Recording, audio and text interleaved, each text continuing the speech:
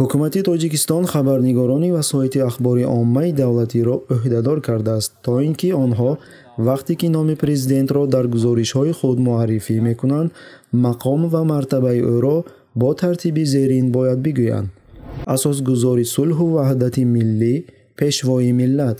Дар ин хусус радиои озодӣ такя ба хабарнигори нашрияи давлатӣ хабар дод чӣ тавре ки хабарнигор мегӯяд пештар расонаҳои давлатӣ бо номбаркунии кӯтоҳ ба мисли ҷаноби олӣ ё ин ки пешвои миллат иктифо мекарданд. Акнун бошад тибқи тартиботи муқарраршуда хабарнигорон бояд ҳамаи унвонҳои раҳмонро номбар кунанд. Хоти асосгузори сулҳу ваҳдати миллӣ пешвои миллат